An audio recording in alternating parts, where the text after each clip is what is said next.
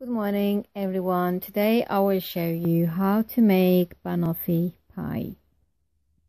Okay, so this is a very rich uh, and heavy dessert that is also very easy to make. You will need three ingredients, whipping cream, caramel condensed milk and biscuits.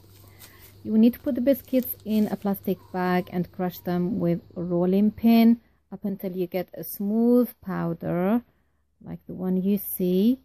After that, mix the biscuits with melted margarine or melted butter.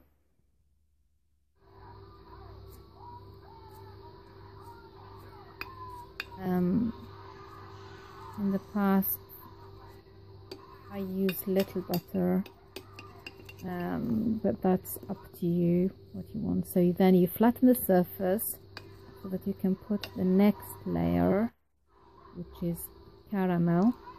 So I'm using condensed milk caramel flavor. You can I sometimes use uh, condensed milk on its own without making it into um, caramel.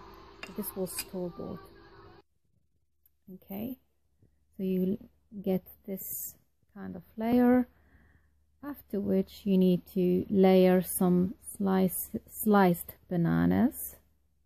The next step is to whip the whipping cream. You can use double cream, but it will be heavy.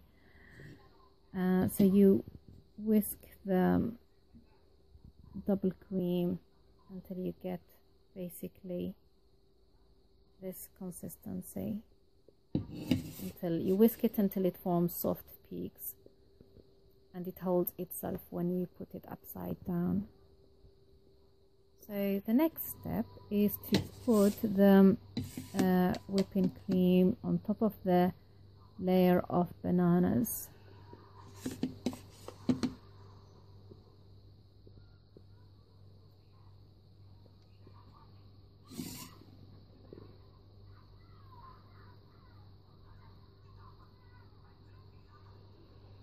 And um,